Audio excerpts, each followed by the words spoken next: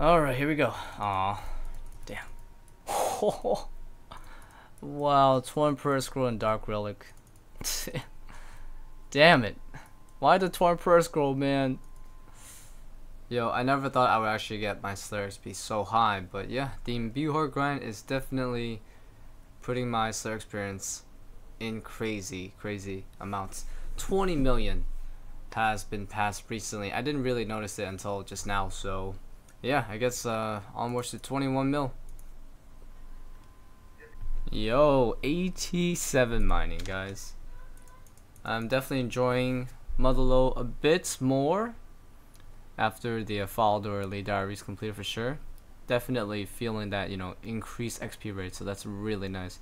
So I can get 88 in, I guess, in under 10 hours of chill AFKing here, so. Oh, I got a dark bow, holy shit. Nice. Gotta take that. I wish I could use the dark bow for something else, like, you know, how whips I can use to add to tentacle whips, but yeah, unfortunately dark bow doesn't have any of that. But uh, I'll take it, you know, just nice to have a big stack of these. Alright, so I got 10 totems saved up again, so I'm using them up now. Any... I'm looking for uh, elite clue scrolls though only for my masters. One totem left. Uh, where's the elite clues though, man? Yes! There we go. Got the elite clue, man. Alright, that's another 200 rune darts. Thank you very much. Nice! I got back-to-back -back elite clues. Alright, back-to-back master clues, so let's go, man. Ornament kit, please. That'd be really nice. Ooh, half moon spectacles. Holy shit. That is a unique item though, that's for sure. Damn, that that makes me look like me in real life, dude. Alright, this can be a really oh shit, it is a PR. Nice. I beat my uh, other raid by like a few seconds. Not bad. Oh my god. Oh man. That is a crazy solo. I mean, this is the second time I have soloed the Ancestral Robe Top. Wow. Let me show you how many Ancestral Tops I have on this account. Three of them. That's crazy. That's uh, two too many, right? I would have loved to get an Ancestral Bond because honestly, yo, I'm tired of this Ahrim skirt, dude like it's heavy as hell and it just doesn't match the other ancestrals i mean damn i would kill to trade over my placeholders for like a bottom but that's not how it works you know you gotta grind raids for that stuff but so far i guess in the most recent 200 raids i've gotten two drops that claws and, and the third top so you know it's still nice to see drops though so i am waiting for that lucky RNG moment at raids again. I think I've lost it. I would love to get that 12 unique man. That's gonna be so nice. I wonder what it's gonna be. Alright, very nice. So I am collecting some more marks. And now I have reached 81 agility. So what I'm looking forward to is not failing so much on this course. Cause yeah, if I could uh, lower that failure rate, then I can get some more courses done in the hour, which means you know more marks an hour. But yeah, we're getting there. 227k to 82 is gonna be uh, quite a few hours of grinding a agility. But yeah, need marks anyways for them solo raids. Yo, I know some of you guys remember these flax, right? When I was going for my torture, I freaking spun basically 112,000 of these. But um, yeah, also uh, throughout time, I guess I have K'd, uh, fletching a bit. I made 30,000 magic longbow. So I guess when I want to do some short AFK, I can go and just do uh, magic longbow making. Why not? I mean, sometimes I just got a few minutes where I kind of need to do something else, and yeah, this is perfect. Oh my god, this is crazy. I'm PRing this raid. Vasa to Muttadile, 5 bosses, 2 agility rooms, one ice demon. Holy shit. I could probably get 40k points this raid. We'll be super close to 40k points. Holy shit. 39k? Damn. That's crazy. 39k for a pretty abysmal reward.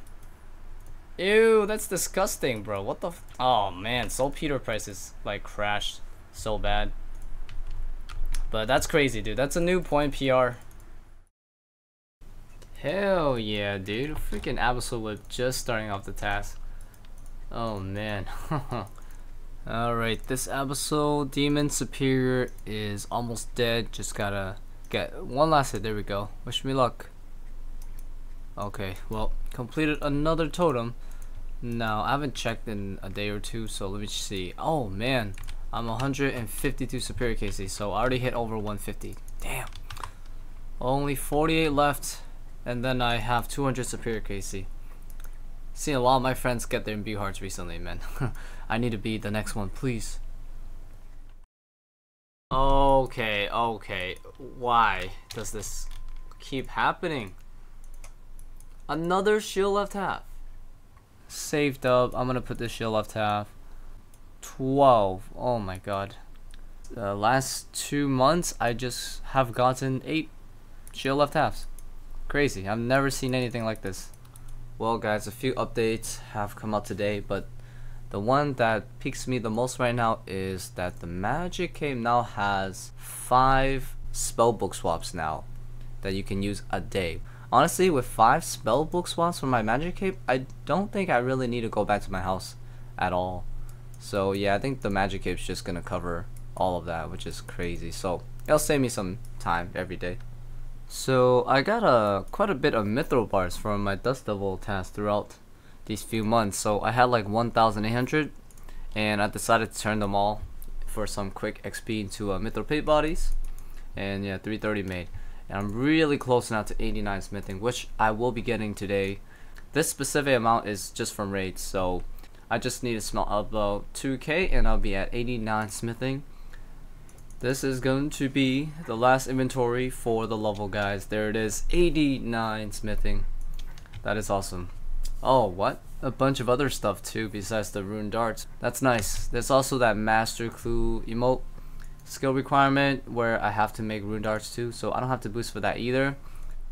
Alright, second superior task is done as well. Wow, that's that was very clutch actually.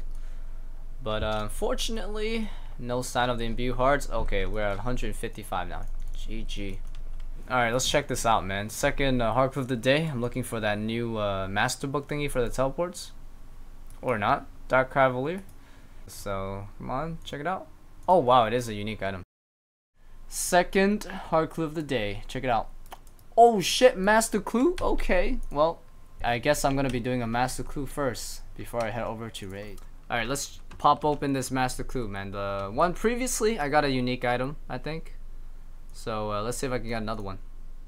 Oh, what? Glove of Darkness? I have two Boots of Darkness, but now I have a Glove of Darkness. Cool. Oh, wow. Okay. I didn't manage to uh, beat my point PR. I knew it. I really needed a Vasa if I want to beat my points, but my second best points though, 38k. Oh my god, I've never seen a normal price check this crazy, 700k, wow.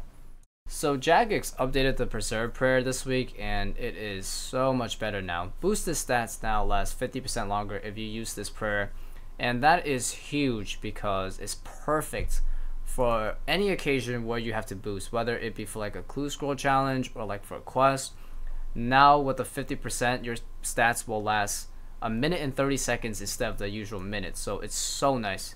Your chances of, you know, accidentally losing your boost will be diminished by a significant amount if you use preserve. And also it's perfect for Slayer as you can see. That means I don't have to, you know, use my potions as much because my stats will stay really high for about 50% longer. So that's amazing. It'll save me on potions as well. And also, it doesn't drain your prayer that much. It's only 3 prayer points a minute if you use Preserve. So you can regain your prayer points super easily just with one prayer potion or an SGS if you have it. So super cheap and sustainable and very beneficial.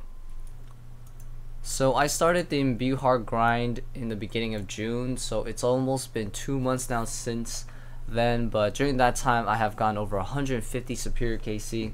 Unfortunately, the imbue heart is incredibly rare, so I might not be seeing it anytime soon, but I would love to be able to get the imbue heart before summer is over. And in terms of the raids grind, I've been working on that for many months now.